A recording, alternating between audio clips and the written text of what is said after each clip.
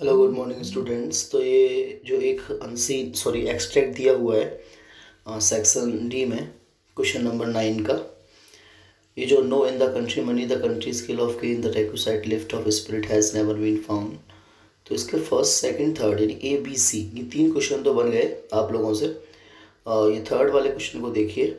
Find the words from the stanza which mean stanza से वो शब्द निकालिए जिनका अर्थ ये हो। डिज़ायर डिज़ायर्ड मन होता है इच्छा होना। है ना, और पैसेज से आप देख सकते हैं रेक्विसाइट एक वर्ड लिखा हुआ है, या रेक्विसाइट सेकंड लाइन में। इसका मतलब भी क्या होता है? मांग करना, इच्छा करना। सेकेंड वर्ड है एक्सेप्टिंग स्वीकार करना। और जो गेन है जी ए आई एन गेन मतलब वैसे तो लाभ होता है, लेकिन यहाँ गेन का मतलब प्राप्त करने से है, स्वीकार करने से है। थर्ड वर्ड है कंफर्ट कंफर्ट माने आराम। और ये फोर्थ लाइन में सॉरी सेकंड लास्ट लाइन में वर्ड दिया हुआ रिलीफ तो रिलीफ का मतलब होता है आराम करना, है ना?